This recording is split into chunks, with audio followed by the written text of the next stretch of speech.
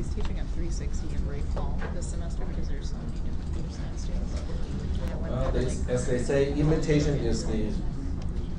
yeah. Highest form of flattery. Exactly. Sincerest. Sincerest, okay, all right.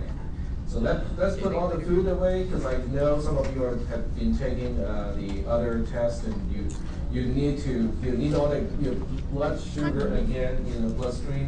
So I can kinda understand that, but let's, let's, go- let's go ahead and get this class started. Uh, we have a new homework assignment, it's called the treasure digger instead of egg hunting. So now we're digging for treasure. Um, it's the same format, okay, so I will show you the source file and we'll, we'll take a look at this to make sure that we know what kind of homework assignment we're dealing with. Okay, so we'll go ahead and say tar xzvf treasure dot tar dot gz. There we go. All right, so when you look at this code, it is kind of the same kind of deal. We have a whole bunch of, uh, okay, let me get rid of the. Uh, this way I can make use of more of the screen space. There we go. So it's about the same as the other homework assignment. You know, you see a whole bunch of dot int, which is the same thing as a dot long. So those are all thirty-two bit, you know, chunks. Dot word is sixteen. We don't even, I don't even bother with dot bytes. The only one thing that is special about this one, or two things that is special about this one compared to the previous one, is we have this thing here. So at label L1, I have a 32-bit thing that is um, storing the value of L1 minus 6. So the only thing you have to remember is L1 as a label is representing an address. But an address is nothing more than a 32-bit thing that turns out to be a valid location in memory, okay? In other words, L1 has a value. It can, you can add to it, you can subtract from it, just like any other integer. You just don't know exactly where it is. But you don't, you're not supposed to have to know exactly where it is. Yes? Is that value the same throughout uh, all the 32-bit computers? When you compile the program, it will probably stay the same, but your code has to work with, you know, my setup as well. In other words, the way I link the program may change the location, the, the actual location.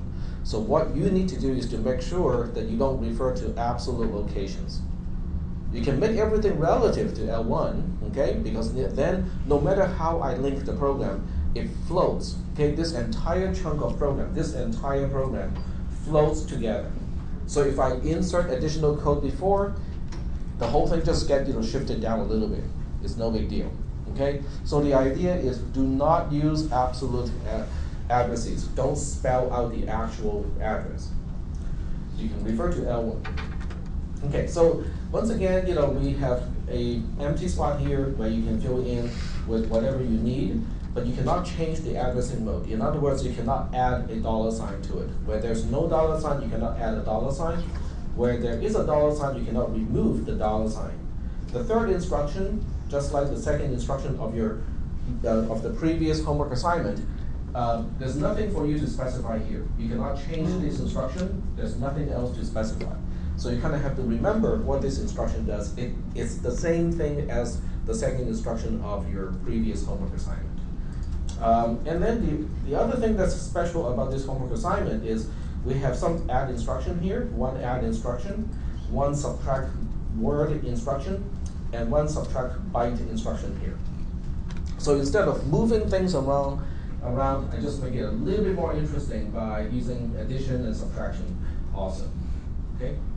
Um, but other than that, you know, whatever technique we used in the previous homework assignment, you can you just have to extend those techniques to handle addition and subtraction for this homework assignment. Are we doing okay so far with this homework assignment? Okay. I think, you know, if you don't remember how I solved the previous homework assignment, you might want to watch the video again. Just focus on the idea and the techniques. Um, and as I said, you know, the only stumbling block is this thing here. This is the only thing that we haven't seen before. But L1 is really a 32-bit number, and subtracting six from the 30 32-bit number is just, it will just give you another 32-bit number. The question is, what are you going to do with that 32-bit number? Okay? Are there any questions about this particular homework assignment? And you can see that I don't even bother with different bases, so these are all base 10 numbers. So you will have to do whatever you need to do, okay, to get the homework assignment done. Yep. I know you say we can only mess with the stuff in the underscores, but can we put in comments if we want? Yeah, you can you can put in comments, and before you turn it in, okay, you know, there's no, I, I'm not gonna make sure that you, there's no way for me to make sure that you don't mess around with the program before you turn it in. So it's just that when you turn it in, you cannot change the addressing modes. But you can add additional comments and let it stay when you turn it in. So that's not a problem. It's a, it's a good idea. Just adding more comments is a good idea. Okay. Any other questions? Yep. What about below it? The- What about The negative number? the negative number?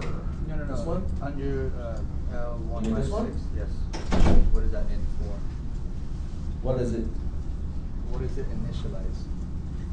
Wow, what do you think? Uh, Just a, just. Okay, so how do we get started with this guy?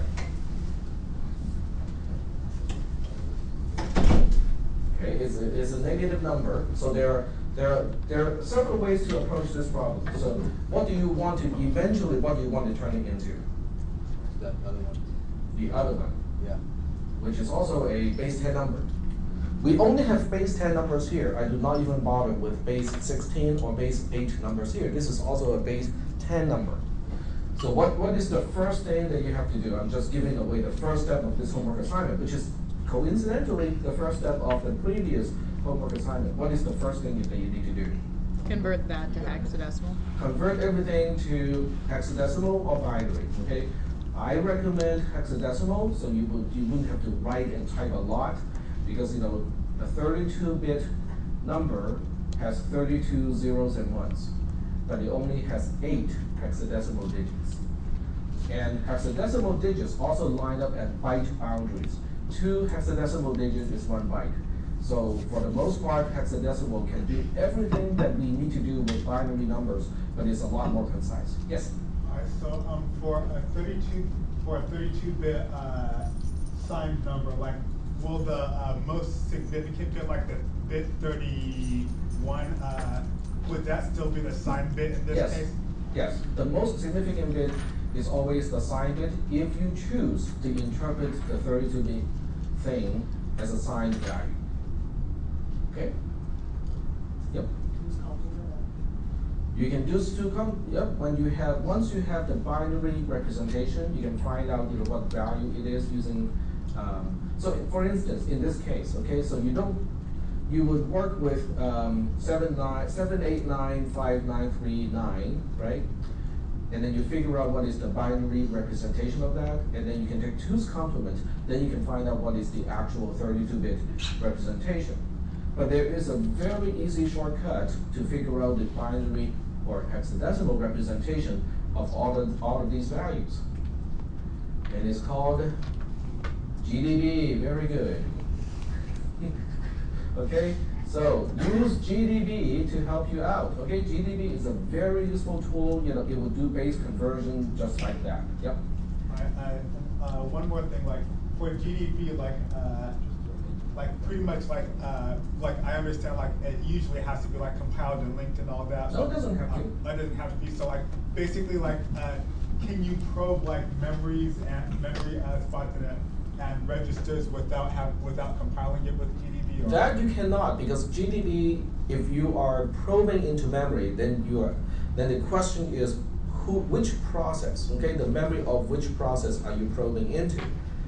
Unless, until you run the program, there's no process to poke into, to poke, to peek into. So you have to run the program first, set up a breakpoint, then you can, you know, stop and say, okay, I want to take a look at the memory locations. But there's no need to do that either if base conversion is all you want to do. You just say GDB, okay, and then you say print, and use all the different ways of using print to give you, you know, to do base conversion for you. Is that okay? Alright, so I'm gonna do something that is not what you need to do. Um, a print slash D is to interpret the following thing as a decimal signed value, okay? So I'm gonna give it like zero x f f f f f two, excuse me, six D, and it gives me this particular value, which is not signed. Hmm. It is supposed to be signed, maybe I got it wrong here. Okay, if you have any doubt, you know, help X will help you with the X command, which is also the one where it will explain all the different ways to display numbers. So right here, D is supposed to be decimal, hmm, and it's U is unsigned. But in this case, okay, let's see if U will give me something different. Nope, same thing. So there we go. GDB has a bug. Or does it? It doesn't have a bug. The reason why it's not doing the conversion is because an int is 64 bit. I just gave it only 32 bits. I didn't give it enough f's to become a negative number. Okay, to test that theory, what we'll do is we'll give it enough f's. So it will need another eight f's to fill up 64 bits. One, two, three, four, five, six, seven, eight, and now it's a negative value. Yep. Would it work if you're running the virtual machine? If you do this in the virtual machine, that would have given me a negative number already because the virtual machine is a 32-bit operating system. So integers by default are 32-bit already. This one is natively 64-bit, and that's why you know it it didn't quite give me the result that I was looking for. But I but I forgot that this is a 64-bit system, not a 32-bit. Okay. Any other questions? So you can do about the same thing to do the other base conversions that you need to do. I'm not gonna show you exactly which command you're gonna use. Yep. How do we check if it's like 30, 32 or 64? Ah, that's a good question. Well, you ask GDB. And say, what is the size of an integer? The size of integer is only four. But what about size of f f f f f260? Yeah, that's not consistent. It's doing some typecasting automatically that it is not telling me. Because it's supposed to be eight with sixty-four bit, so there's some kind of inconsistency here. Any other questions? No other questions? There's one sure way to tell for sure, okay? If you say print slash x negative one, oh, that is bad. That is really bad because it, it, it wants to look at this as a sixty-four bit number, but then it looks at this as a thirty-two bit number. So it's changing depending on the value. Hmm. It's not good. Don't like it. it's inconsistent. All right. Any other questions? But when you do this inside the 32-bit you know, virtual machine, it should all work out. All right. So no questions about the current homework assignment, the one that's due in a week. Okay, I think you know once you know how to work with the math, it will tell it will probably take you what 15 minutes, 20 minutes or so to get it done. All right. So with the homework out of the out of the picture, we'll continue to talk about the topics that we left off from last time, which is not going to be a part of the exam one because you know it, we just got into this. It's control structures. In other words, I was attempting to turn all of you into human compilers, organic compilers. Okay. So we'll go ahead and take a look at all of these sections here. I know it looks kind of long, but each one is really short and it makes sense. So what we'll do is we'll start with control structures that we already know of. And the first one is a conditional statement.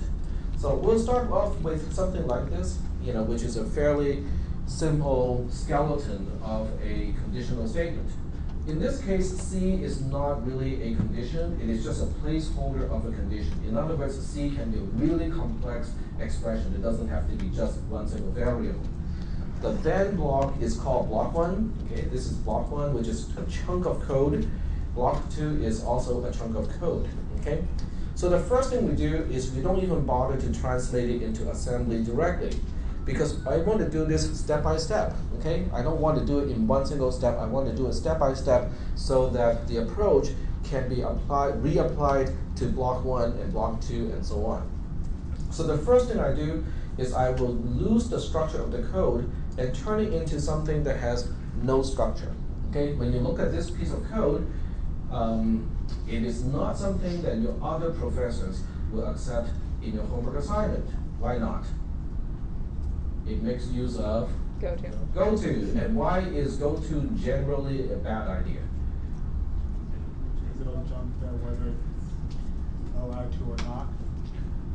It, it can mess up the control, the structure of your program because you can jump from just about anywhere within a function to anywhere else within the same function. Okay? It sounds really convenient, okay, because you know occasionally you say, oh, I just want to go from here to here, and you know it, a go to and a label will let you do that. But what is that going to do to your code? It makes spaghetti code. It makes spaghetti out of your code. And in this case, you know, the reference to spaghetti has nothing to do with the spaghetti monster, the flying spaghetti monster, just in case someone is wondering. Okay? So why do we call spaghetti code spaghetti code? Somebody really wants pasta. Okay, so let's let's figure out what is spaghetti code, okay? Because I think some of you know what it is already, but I can never really spell it. That's close enough. Okay, spaghetti code, okay? Spaghetti code is a pejor- pejorative phrase for source code that has a complex and tangled control structure. Now, they should qualify complex entangled with unnecessarily complex entangled. Okay, because there, there's some code you know that may need to be complex and tangled, but in this case, it's unnecessarily especially one using, guess what, many go-to statements, exceptions, threads, or other unstructured branching constructs. It is named such because program flow is conceptually like a bowl of sp spaghetti, twisted and tangled. Many of you probably won't understand how bad spaghetti code is from the perspective of maintenance because none of you, for homework assignment purposes, really have to maintain your programs right? Okay, what is the longest homework assignment that you have to do? Longest in terms of you know the time since it is assigned to the time that it is due. Week and a half, okay, two weeks, any longer than that? Yeah. Bigger projects, how, how, how much longer? I, I think there were some in Foxes that took like two months. Two months, okay, two months, okay, we got two months, any, any longer? I mean, there's a one-year project. Okay, there are one-year projects. I have taught, you know, uh, project classes at Davis, and those are three-quarter projects. So conceptually, you can have a project that will last an entire academic year. Okay, how does that compare to the longevity longevity of source code in the commercial setting? How old is Linux? Linux is actually one of the younger operating systems. How many years? Well, let's look it up. I don't know the exact number. In like ninety-seven. 97 sounds about right. Okay, so we look at Linux. Or did you say Unix? Hmm? Oh, no, no, I said Linux. Okay. Unix is old, Yeah. Linux is not. So Linux is since 1991, okay? And it is considered one of the youngest operating systems, even though it's modeled after one of the older, but not oldest, operating systems. So 91 to today is what, 20, 20 something years, okay? All right, so, so your one year long project is nothing in terms of lifespan compared to a young operating, operating system. This is not even an old operating system. Is that okay? All right. There's another perspective of code maintenance. In your project, the one year long project, how many people are involved in that project? five, six-ish, okay? How many people do you think are involved in Linux? Now, it's, since it's open source, it's kind of an unfair comparison, but I would say thousands, okay? You know, easily thousands of developers. Okay, why is that important when we talk when we talk about spaghetti code? Time is in. Go ahead. Interaction, Interaction, like the code style coding style, uh-huh. And can anyone else follow your code? Okay, that's the big question. The second thing is, can you follow your own code after a week of creating spaghetti code? Probably not. Okay, those are the things that you have not experienced just because that you don't write programs that long. Okay, in terms of number of lines and also num- in terms of the longevity of the code itself. Okay, I on the other hand has the misfortune of having to maintain a really old C compiler. It was written in the CPM days. Okay, which is kind of really way back when. This is pre-DOS. Okay, and uh, the source code, when I read the source code, there was one function that is that exceeds 500 lines. So a single function that that that will require me to page down like four or five times from the top to the bottom, and it had go-tos. Okay, plural, multiple go-tos. It would go to from deep inside a if that is inside a while, which is inside a switch, which is inside another if, into another conditional statement in a branch that is inside another if, that is inside another while, and so on. Okay, that is spaghetti code. I could not understand the source code. I tried to use a debugger to track through the execution. I could not figure it out. So I ended up having to just cut off the whole subroutine and re-implement based on how it was called. I basically re-implement, re-implemented the entire thing. Okay, so most of you probably won't experience you know spaghetti code just because you know it doesn't really matter all that much when you have a smaller project. Okay, but in this class we don't have a choice. Okay, we do not have a choice but to use spaghetti code because in assembly language programming there is no structured code. Okay. Now, it doesn't mean that you do not program in a structured way, it is just that the language itself does not have any structure itself. Okay? So we'll, we'll, we'll deal with that later.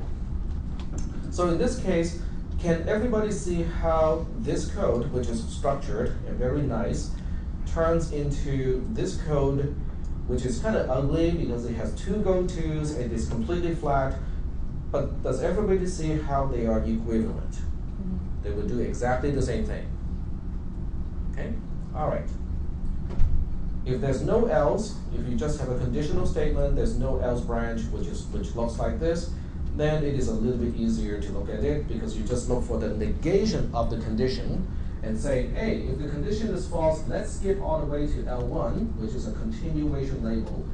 If C is true, then not C is false, which means it would not do the go to, then it will execute block one.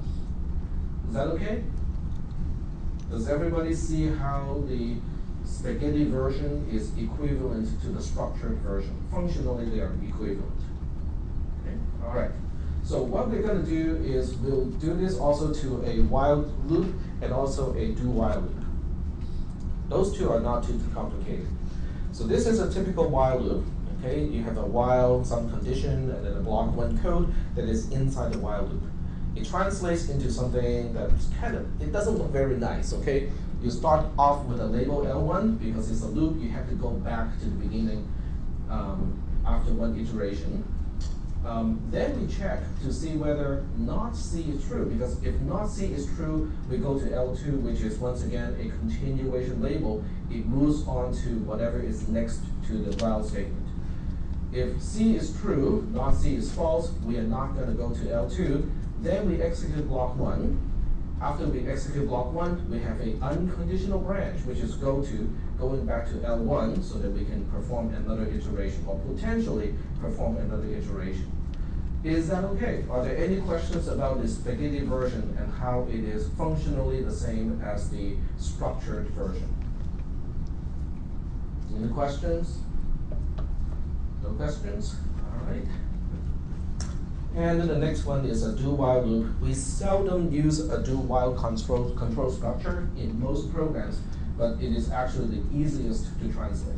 Because we execute block one without any question, and then we say if C, okay, if C is true, then we go back to L1 for another iteration. So it's actually the easiest to translate, even though it is not used the most.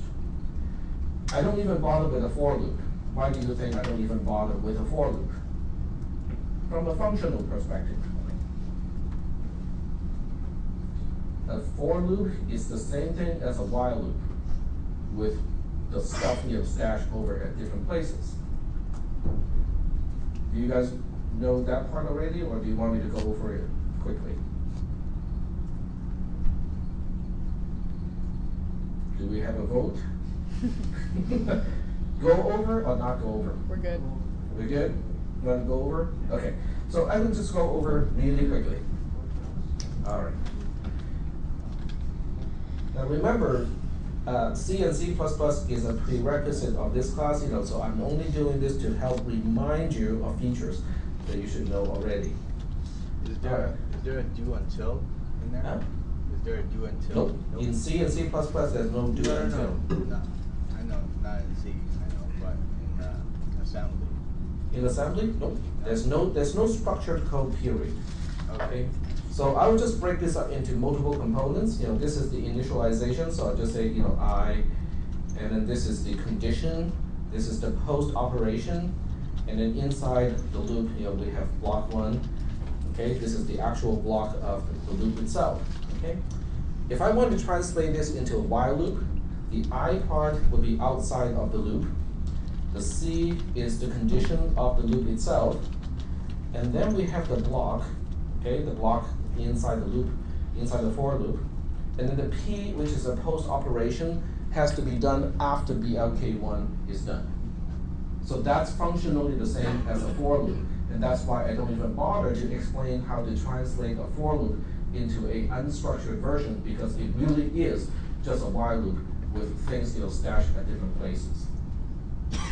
The only reason why a for loop is useful is because you know if you need to keep track of the condition, you might as well use the same line to keep track of the initialization and the post operation of variables that can change the exit condition. Okay, it's just for notational convenience, it is better to do it that way. But otherwise, you know, it's really the same thing as a while loop. Okay, so now that we have this out of the way, that's it. Okay, we are done with control structures. But what about switch? You know, the switch statement. Well, the switch statement can be seen as a conditional statement in a way. Okay, the implementation of a switch statement many times is really just a uh, nested conditional statement. So there's nothing really that special about a switch statement. Any other questions? Any other questions about control structure? Okay.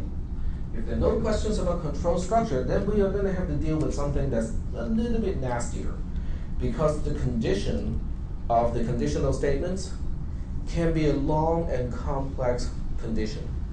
And in assembly language programming, you can only compare and then you can do a conditional branch. Okay? So we cannot really deal with conjunction, disjunction, and that sort of thing. There's, there are no logical operations in assembly language programming. So when we do have these things, what do we do about them? Well, if you have a not, okay, if the original statement looks like this, which is if not C, C being a condition, go to L1, you can get rid of the not by saying if C, go to L2, which is a continuation label. If we do not get to the continuation label, which means C is false, then we go to L1. So it will accomplish exactly the same thing. The code is a little bit messier, but we got rid of the logical operator. Okay, the idea is we want to get rid of logical operators. Is that okay? All right, moving on to the next one. Disjunction. Okay, if the original expression is a disjunction, now remember, C by itself can be a really huge and complex expression. Same thing with D. I just want to take care of one logical operator at a time. Okay, that's all I want to do. So if the original one is if C or D go to L1, then we can break it apart and say, hey, if C is true, that is enough reason to go to L1 already. Because it's a disjunction. Now, what if C is false? Well, if C is false, I am not going to L1 right away, but I have a second chance to go there because if D is true, then I also end up at label L1. This is also consistent with short-circuited uh, Boolean evaluation in C and C++. In your previous class in CISP 360, your professor should have told you that um, conjunction and disjunction, um, they are both short-circuited in C and C++, which means if the first condition, like in this case, if C is true, you won't even bother to evaluate D. Was that discussed in your previous class? Was it really emphasized? Because Yeah. that's the only thing that allows you to do bound checking when you go through an array and it doesn't do any type of memory access that is illegal. Okay, I'll show you an example. I'm not gonna explain it, but I will show you an example. Okay. So let's say, you know, okay, I'm gonna put comments here. N is the number of elements in array A. Okay, so just want to make it clear.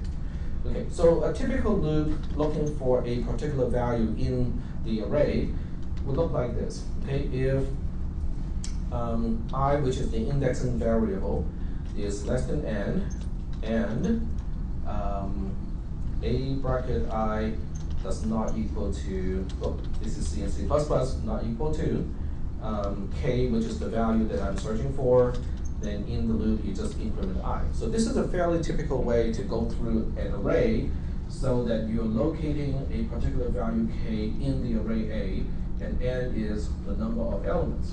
Okay, i should be initialized to zero before this loop, but that's not, that's not the main point. The main point is the logical AND operation here. The logical AND operation, which is ampersand ampersand, is a short-circuited operator, which means if I can determine the outcome of the entire conjunction just by looking at the left-hand side, I won't even bother with the right-hand side. Okay? But this is actually very important because if i is less than n is false, that means i is greater than or equal to n, which also means i is no longer a valid index into array A. Okay? And that's why it has to be short-circuited. Because if it's not short, short-circuited, then I will still evaluate the right-hand side. Then I'll be accessing a location that is not a part of the array. And that's wrong. Okay? Even though it doesn't really do any harm in this case, it is still a wrong thing to do. So that's why you know a short-circuited evaluation with AND and OR, conjunction and disjunction in C and C++ is actually a part of the language specification itself. It is not just an implementation detail, it is a specification of the programming language. And that is also why when you have a conjunction or disjunction, the evaluation order is always left to right. Okay? That is not left to the compiler, it's not left to implementation. The standard dictates that it has to go from left to right. Is that okay? All right. So hopefully this is just you know a reminder of something that you already know. If not, you know, then you just learn something new that is actually important.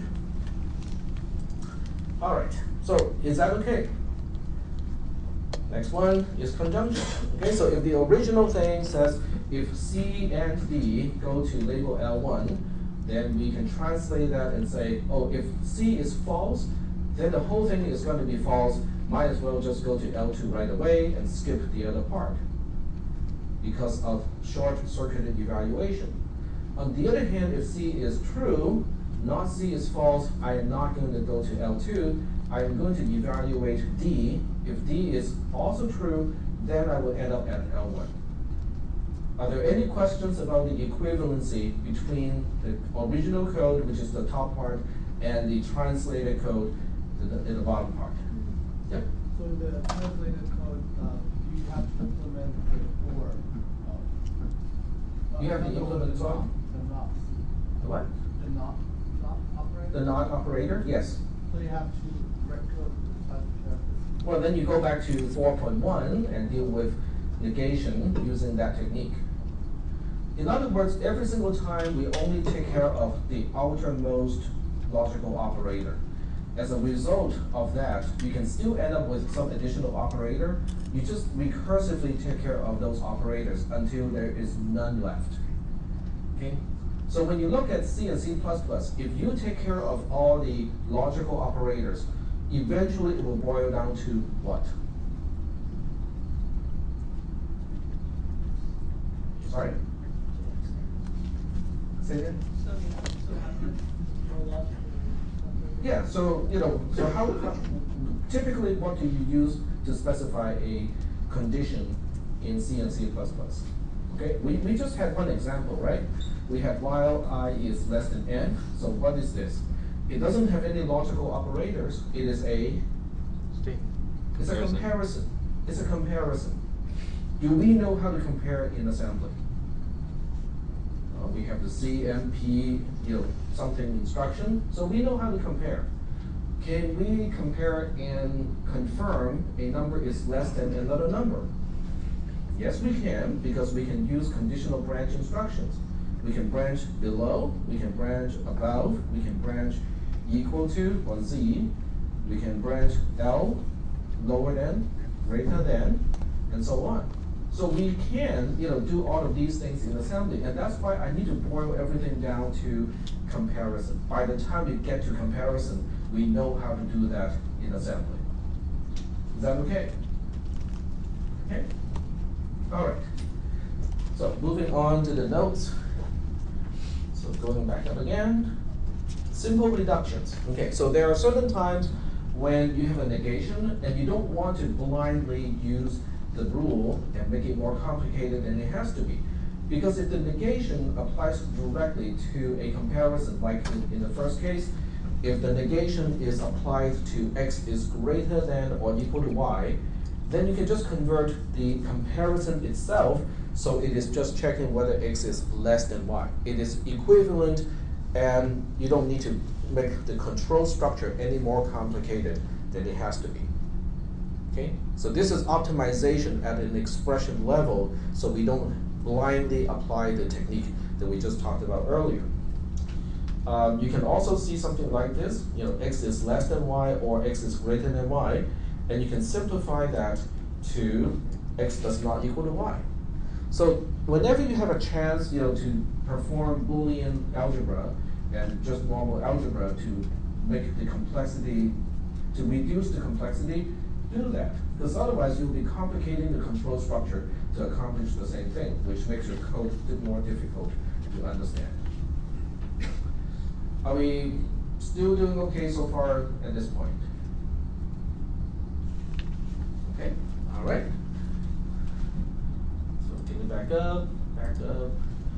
Um, then we're dealing with comparison here. Okay, so comparison is just like this. Okay, so let me show you how to read this part here. People coming from CISP 440, you know, I kind of have to mention this. This is a relation. R is a relation. I know you guys don't want to be reminded of that stuff anymore, but that's what it is. So x r y is x relates to y in a certain way, can be less than, greater than, less than or equal to, greater than or equal to, not equal to, or equal to. Okay. So the question is, if it is already reduced to something simple like that, how do we do that in assembly? And the answer is down here. If this is the C statement that you're translating, assuming x and y are simple expressions or just variables, then you can just you know, turn it into something like that. Note how y and x are reversed. Okay, in other words, compare is a subtract instruction, so it is actually subtracting y from x, but not storing the result. That is why we have to reverse it, because y is being subtracted from x. The r, the jr, there's no, well, there is an instruction called jr, I think it's jump relative, but in this case, this r is representing the same r in the original expression. In other words, if this is less than, then this r is L, or B, depending whether it is signed or not. If this r is equal to, you know, equal, equal in C and C++, then this r becomes z, because after a subtraction, we, we are looking for zero, because when two, two things are the same, you know, then the zero flag should be set. Is that okay? So does everybody understand how to read this part here? If you see this in the C code, you will translate that into something like that assembly code. Okay? Any questions? So there's one example here. The example is if we have, if y is less than or equal to five, go to label L1, then we say compare dollar five, because in this case, uh, five is the actual value being compared. It's not specifying the location where you grab a value to compare. So we compare y, uh, five to the constant five to y, and JNA is not above. Okay? Less than or equal to is the same thing as not above, not greater than. So that's how it works. Are we, yep, go ahead. Change greater than or less than, can you just make the y five and make five? Subtract? No, you cannot. You cannot specify a dollar five No, I on. mean, on, let's look, uh, look at compare y and x. Uh-huh. So keeping the JL, but changing x and y to less than Then it'll be, but then you won't be keeping the relation. In other words, your assembly code will, will have a one twist to, and make it different from the original C code. So I'm trying to make it, it is, I'm trying to make it as straightforward as possible. So if the original comparison is looking for less than, you keep that less than. All right, are there any questions about this slide? No questions about this slide? All right, so we're moving on to section six. How do we deal with uh, nesting and labels? Because, you know, after all, in structured programming, you can have a conditional statement inside the loop and so on. So how do we deal with that? There are different ways to do it. Okay. The first one is I personally like to use indentation. In other words, if I look at the indentation of my assembly code, it will still give me the same structure as in the original code. Because indentation is, is very visual. It gives you a very good visual clue of what is inside what else. The second thing is to use more useful names, you know, even though I use generic label names like L1, L2, and so on, it is much more helpful when you label, when you use label names like loop begin, begin loop, doesn't matter which one you use, while begin, okay? Um, while end, else, it, else can be used as a label because else is not a reserved word in assembly language programming. Because we don't have structured code. If you don't have structured code, why do you need else? Okay? And if is a good name too. You know, this is the continuation label of a conditional statement. You guys will see me use these particular label names you know, when I write code in this class. Next one is to use sequential numbers. In other words, you just kind of keep going. You know, if once you have used one label name, which is end if one here, the next one is going to be end if two. Okay, but you do have to be careful because if you reuse end if one where end if two is needed, the assembler won't complain. Okay, if you if you mess up the definition, it will complain. In other words, if this two here is changed to a one, then we have two duplicate definitions of end if one, and the assembler will complain because one label can only be defined once.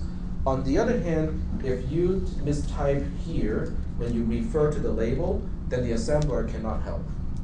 Because, you know, well, there is an end if one, and you can definitely go to end if one from multiple places. So the assembler would not be able to catch it when you make a mistake like that. Any questions? Okay, no questions. You can also, you, when you deal with nested con- constructs, you can you can always make it possible. It's always possible to make it so that the naming convention makes it impossible to have duplicate labels. Like in this case, we have a while loop on the outside, a conditional statement in the inside. So when I do the translation, this is not even assembly code, this is really just what I call flattening a program, okay? When we turn structured code, nice looking, proper, you know, structured code like this, into something that looks like this, it is still in C, okay, but it doesn't have structure anymore. I, I call this flattening because it, it doesn't have structure anymore. Okay, when we refer to structure code, it means you have a statement inside another statement inside another statement. That is called structure code. In this case, it is quote unquote structured because the go-to is always inside the conditional statement. But other than that, there is no other structure. Like Z++ is by itself, it is not a part of a conditional statement. Let me just highlight which Z++ we are talking about. This one here. This Z++ statement has exactly the same level, it's in the same level as this label definition. Z++ and X++ are ex at exactly the same level, lexically speaking, from the perspective of the compiler. And that's why there's no structure anymore. So changing the code from structure code into something that is unstructured, I personally just call that flattening. Okay, so when you hear me saying, okay, let's flatten this via C code, it means getting rid of the structure of the code. Yep, let's vote again. I thought there was a question. All right. So are there any questions about this? Oh, the other part is, instead of just using a generic name of end if, I say this is the end if inside loop one. So this loop is loop one. This conditional statement is the first conditional statement inside the loop. And you can see how the label name suggests that. Okay, this is the end if, this is the end of the first conditional statement inside the first loop. So that means it if I, if you use this naming convention, it becomes impossible to have duplicate label names. But you do have to count, okay, you know, is this the first loop, the second loop, and so on, in order to use this construct. It doesn't have to be like this, okay? I'm just giving you suggestions, okay? Because you, you will get homework assignments where you have to translate C code into assembly code. If you can keep track of L1, L2, okay, go ahead, just use L1, L2, and so on. If you want a more structured approach, you know, this is a slightly more structured approach. But for the most part, I will leave, let it up to you guys, leave it up to you guys to determine how you want to label, how, how you want to name the labels. All right. Boolean operator reduction formulation, you know, same thing, you know, you, I just put a suffix of underscore one in this case. So in the end, it is really just, you know, whatever you, whatever works best for you, okay? I just give you some examples. This is just an example of how to translate, you know, a, un, you know, some structure code like this into assembly code. I'm not going to do this in class because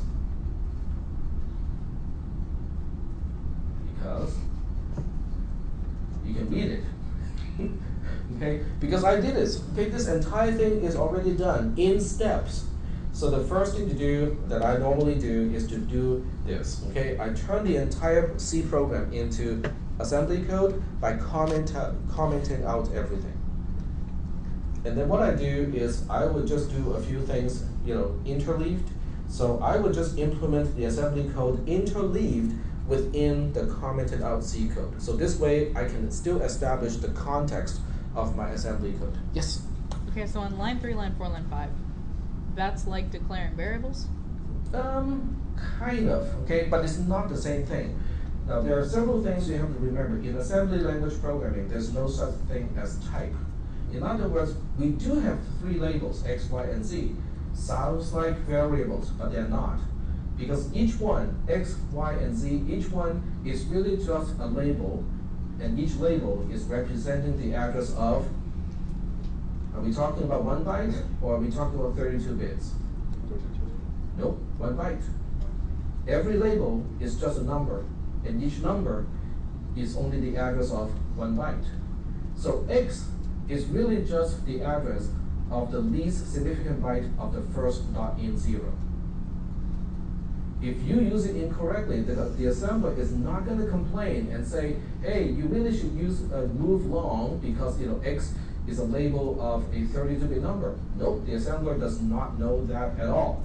The assembler only knows that X is just a number. It so happens to be an address. Yep. So X, Y, and Z are labels to places in memory Yep. that have the num, the value of zero assigned to them? That has the uh, memory allocated and initialized to zero. Okay.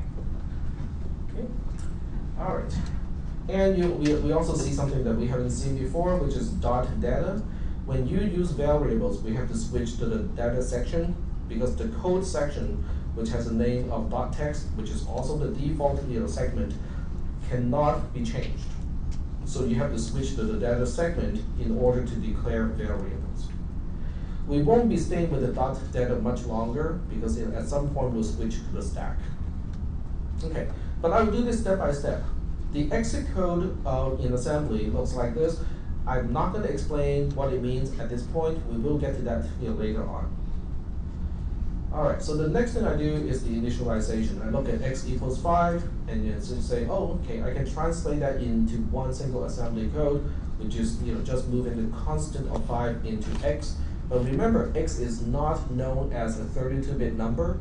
x is really just a label which happens to have the value of an address of one byte, okay? In other words, if this x is a dot word or a dot byte, and you do something like this, the assembler won't complain. You'll be overwriting something other than what you think you should be overwriting, but the assembler does not know that. Is that okay? So when you adjust from C, C++ programming to this class, you have to remember, you know, a label has no type information in it. So you have to be more, much more careful than in your other classes. All right, so this is not, you know, too fun at this point. So the first thing I do is I'm translating the while loop into assembly, well, no, I take it back. I'm, I'm still translating individual assignment statements. So this is an assignment statement, this is an assignment statement, I translate that into actual code. And you can, you, you don't have to do it in this order, okay? I'm just picking this particular order. This is, um,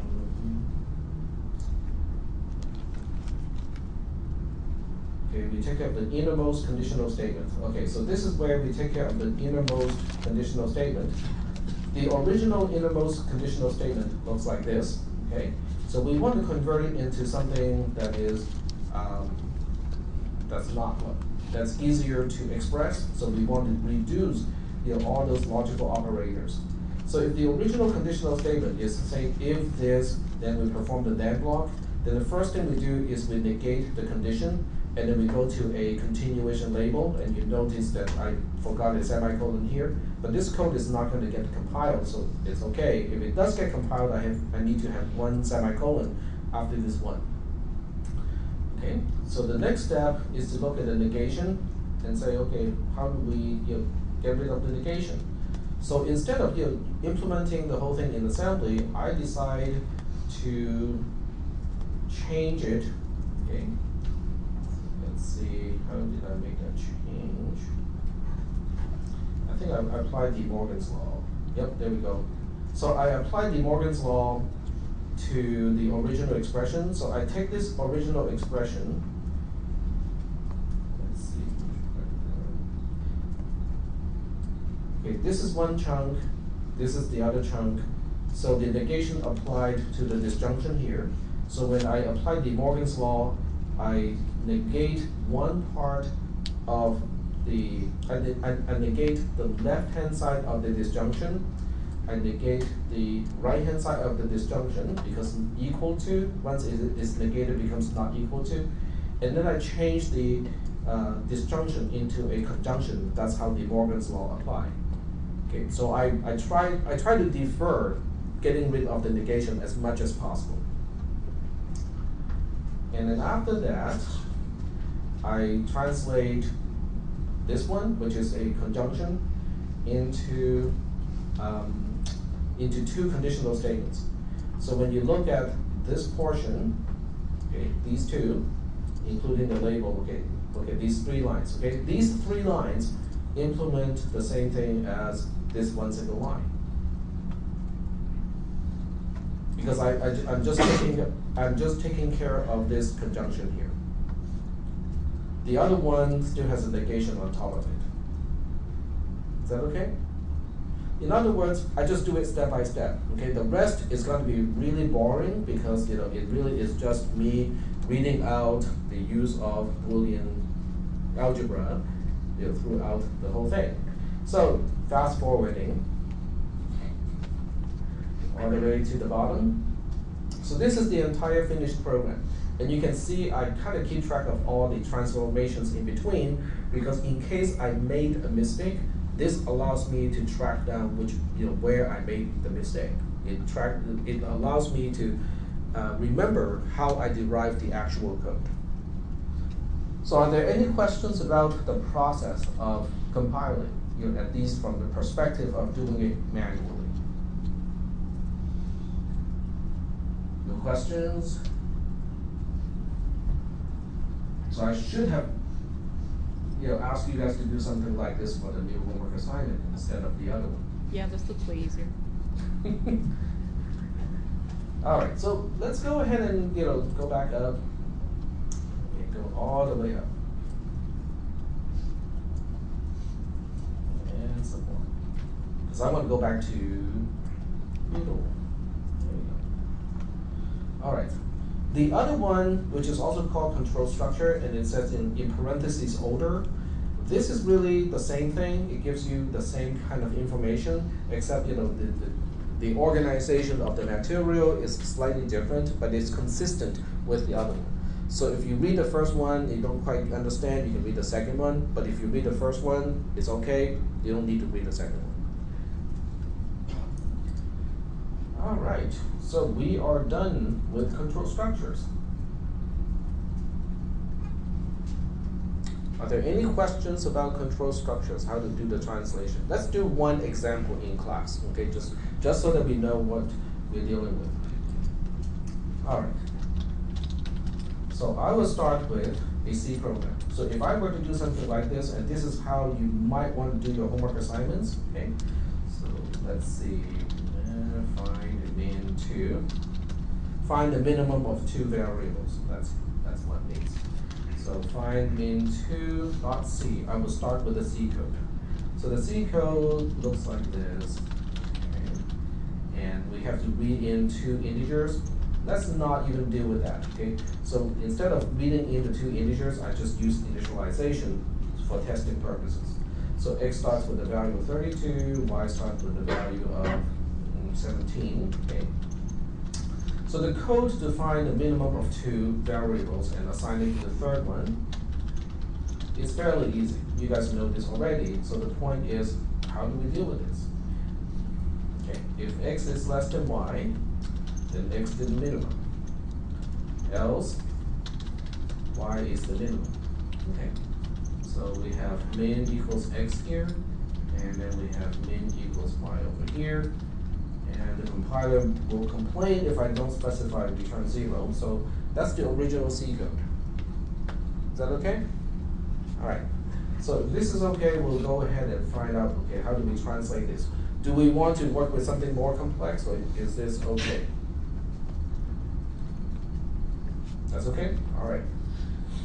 All right, so what I'll do is I'm gonna do this step by step.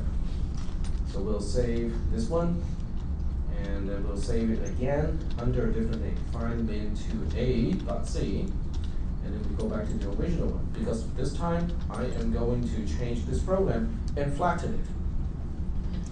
Okay, first of all, assuming I don't make any stupid syntax error, can this program run? Yeah, we can run it in GDB and to make sure the code is correct, okay? So the next question is, the first step is not to translate everything into assembly first. Now, I know some of you can probably look at this code and just right away convert it into assembly code because this one is simple enough. But in general, what we want to do is to flatten the code, debug it as much as we can in C, because it's easier to spot problems in C and C++ before we translate it into assembly code. So we'll do the flattening, and then we can test the program again. The flattening, in this case, is to negate the less than so that it would go to the label, okay, so we'll translate this and say the first version is to say, okay, if x is greater than or equal to y, then we want to go to a label, we call it label else one, okay, you cannot use else because else is a reserved word in C and C++. So else is no longer needed here because I have else one being a label definition. But then I have one more thing I need to do. I need an unconditional go to here to go to the end of the if. So we go to end if as a label and define end if as a label over here. So if I if I did not make a mistake, this should be equivalent to the original code. Is that okay? Is this program still in C? Or C- in C++? Mm-hmm. Yeah, it's still in C and C++, which means you can still use GDB to debug this code. If the behavior of this code is different from my other C program, then you know that the flattening process is faulty. So you should fix it first before you try to translate it into assembly code. The idea is once again, try to defer the translation into assembly code as late as possible because it, it is easier to debug in C and C++. Is that okay? All right. So at this point, I look at this code and go like, yeah, I think it's ready to convert into assembly code because I look at everything, it seems like it's easy to do in assembly code. So now I would actually go ahead and do it in assembly. So the first thing I do is to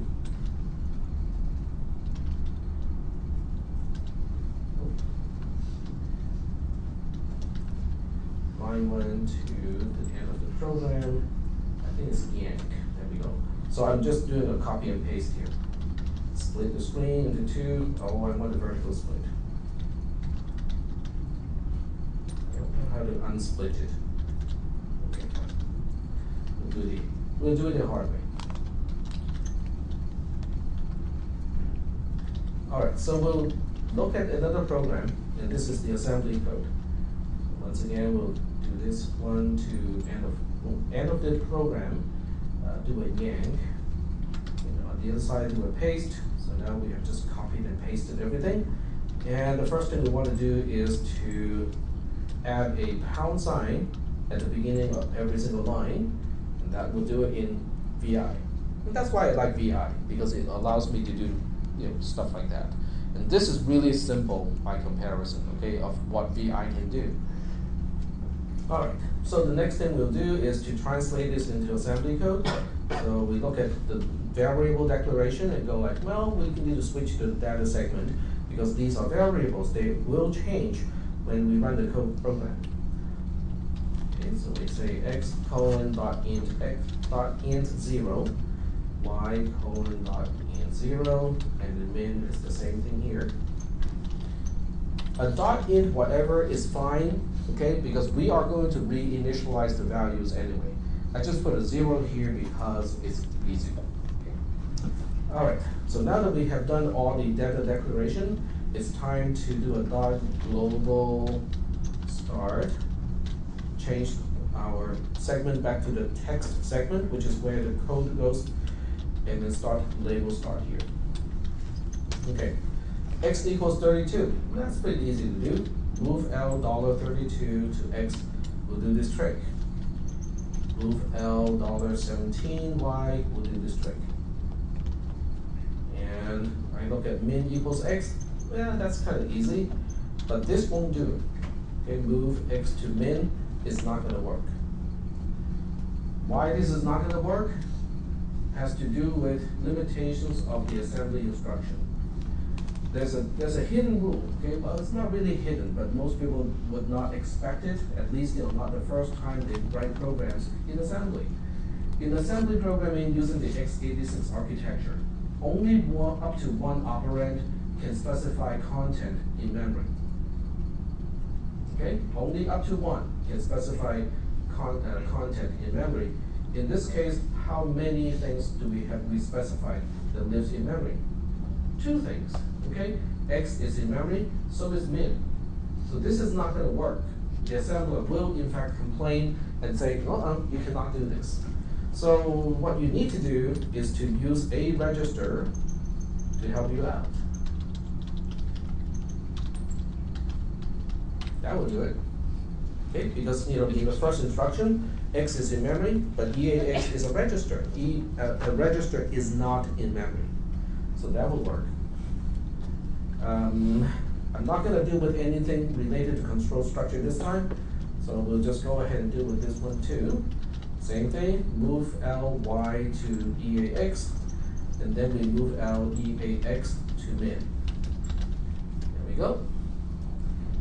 Do we have any questions at this point? Okay, now let's go back and deal with the control structure. The control structure has label definitions. Well, the good thing is, when you when you define a label in C and C++, the syntax is exactly the same as when you define a label in assembly language programming. So that part we get to keep, it's no big deal. The important part is, how do we get this part done? If x is greater than or equal to y, go to else one. Ah, but you remember in my text, there is a very structured way to do it. You say CMPL in this case because we're dealing with thirty-two bit comparison. Flip the operands, okay? If x, if the original comparison is x is blah blah blah y, then you reverse the order when you compare. Because that's the reason why you can keep the relationship. So J in this case is greater than or equal to. I don't know whether there's a greater than or equal to, and this is signed, but I know greater than or equal to is the same thing as not less than. So J and L will do it. Are we doing okay so far with this translation? Greater than or equal to is the same thing as not less than, because the variables assigned to begin with. I cannot say J and B, because J and B makes use of the carry slash borrow flag. It is only good for unsigned values. If it is signed, I have to make use of the L flag, which is defined using the overflow and the sign bit. Yep, Where's the J coming from? jump. Oh, So we're doing unconditional branch to, uh, excuse me, we're doing a conditional branch to else one here. And then over here, we have an unconditional branch, so we say jump to end if. And we have the whole program translated, except for the return zero. Is that okay? And you can see that when I translate the code, I don't do it like from line one to the last line. Okay, I do it in a structured way. Any questions? No questions? Okay. Hmm, well, given that we have all this stuff here, I think we can already do some fundamental, really, you know, low-level string functions. What do you think? How about pointers?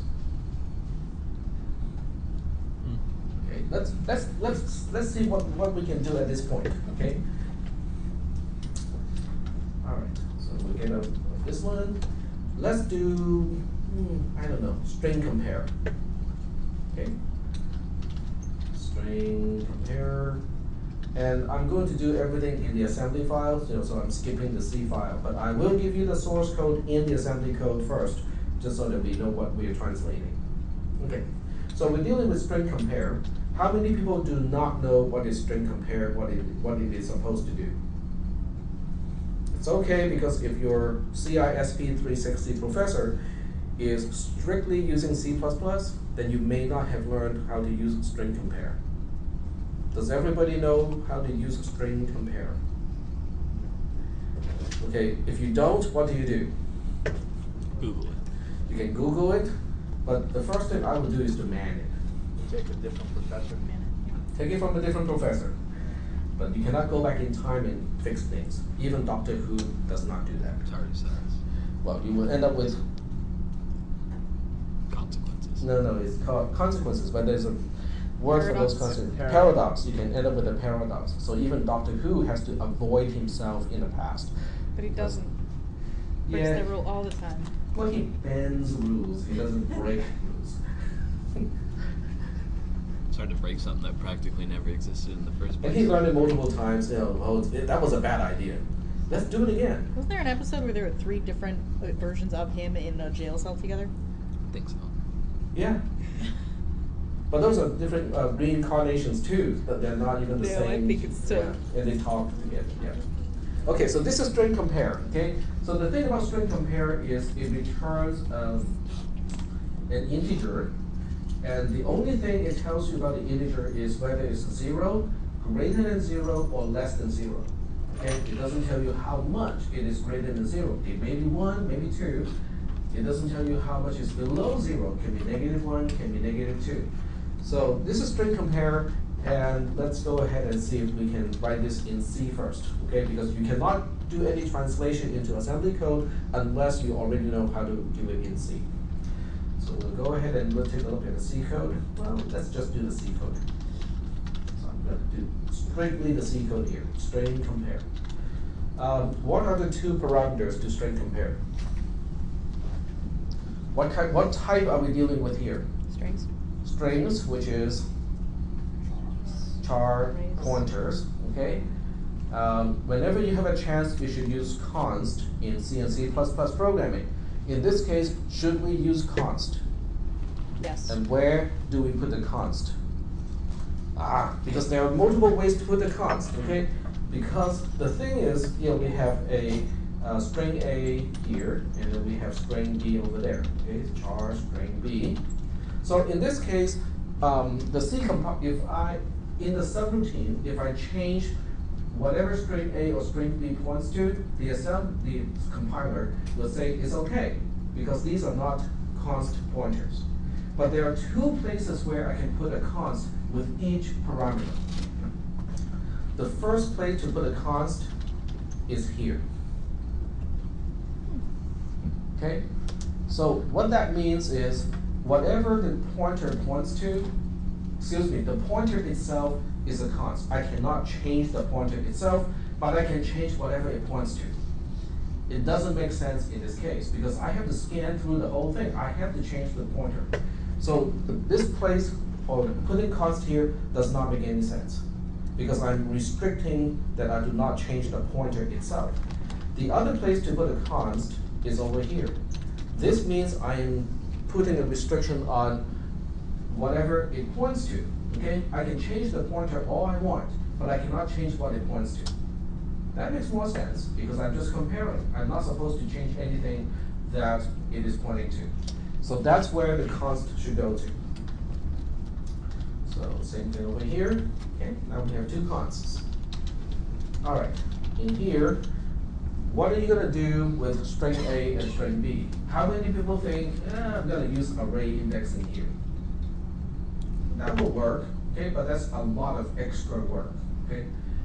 We can do everything with pointers. Compare the contents of the two queries. Sorry? Compare the contents of the two. We compare where they point exactly, the content pointed to by the pointers, okay? All right, so we know some kind of a loop is involved, okay? And we may have something to do inside the loop here. We also need to return some kind of a value, okay? Okay, so we know the structure of the code is gonna be like this. When do I stay in the loop? In other words, when can I not determine and say that, hey, I got the result of the comparison? When it's a zero, leave it at null, if they're null terminate. Okay? But when everything is the same up to this point and I have not encountered the null terminator, then I have to stay in the loop, okay? Because I cannot tell, I cannot conclude just yet. Okay, so let's see if we can express that. So to express that, we have to basically say, uh, whatever string A points to is not the same thing as whatever string B points to. That's one of the conditions to stay in the loop. But there's one more. What if they are both, oops, I, I said one thing and I, okay, they have to be the same, not, not different. If they're different, it's time to get out, okay? But this is only one of the reasons to stay in the loop. We have another reason to stay in the loop. Because what if string A is pointing to null, string B is also pointing to null? Then I can already make the conclusion and say the two strings are exactly the same. And I should get out. So I need to attach something to the condition and say, what? If both of them are null. Well, if, if I get to this part, it means they are the same, so I only need to make sure one of them is pointing to a non-null character, okay? But you, you have the right idea. And the simplest way to do that is just that. I don't even bother with the comparison. Because in C and C well, in C at least, if an expression is zero, it is the same thing as false. If it is non-zero, which in this case can be the, the other two hundred and fifty-five values, it is simply interpreted as true. So this is fine, I don't have to compare this to the null character, okay? You know, it's just a little shortcut thing, you know, is it a good programming practice? Probably not, but you know, it's, it works. I believe that works in C plus plus as well. Okay, it doesn't work in Java. Okay. Yeah, Java requires comparison. Yep. Um, when you say you were uh, bringing in a string from console input, uh, and it already had a value that was say 10 and then the null character, but this one was only 5 and then the null character, wouldn't it uh, just put that there and then not deal with the rest because the null character would then uh, be the front? And so if you were to compare two, it's possible that you'd reach the null with, and Okay. but the string itself Say that one more time. The, what, what two strings are we comparing? So say there's one with 10 uh, and then a null character that you have initially. One, zero, and then a null character like that.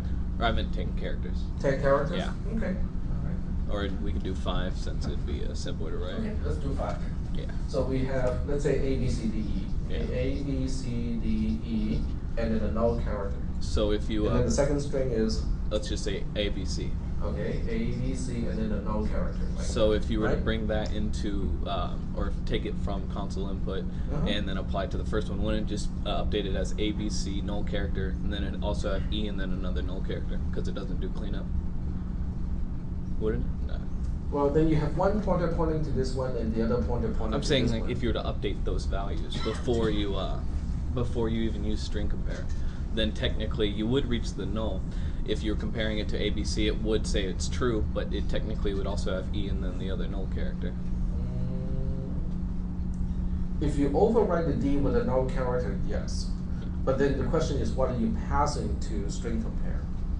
If you're comparing these two, it's easy because A equals E A, they're both non-null. B equals B, they're both non-null. C equals C, they're both non-null. These two are not the same, it's time to get out. Yep. Like, uh, what if, what if it's the other way around? Cause like, at that, at that point, then after it hits this, hits the null character, then, uh, pretty much, uh, oh, never mind that. Because they have to be the same in order to stay in the loop. If one is null, the other one is non-null, I get out immediately. Yep. Um, is null the same as zero? Null is zero, but it's an eight-bit zero. So when you say n uh, pointer string A, um, if it returns a null, that returns zero. Right. So if it if it, if string A is pointing to null, then that becomes false, which also will get us out of the loop, which is proper, because once we get to the end of the string, we should get out. The return, okay, let's finish the loop first. What else do we have to do in the loop? If the loop is exactly like this, we have a problem because we'll be comparing the same characters over and over and over again. So what do we need to do to kind of move on?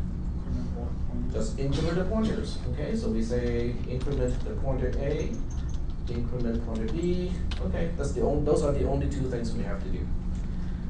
The thing is, the question is, what do we do when we get out? Okay, I'm supposed to return a zero when both strings are the same. I'm supposed to return a negative value when string A is quote unquote less than string B. I'm supposed to return a positive number when string A is quote unquote greater than string B.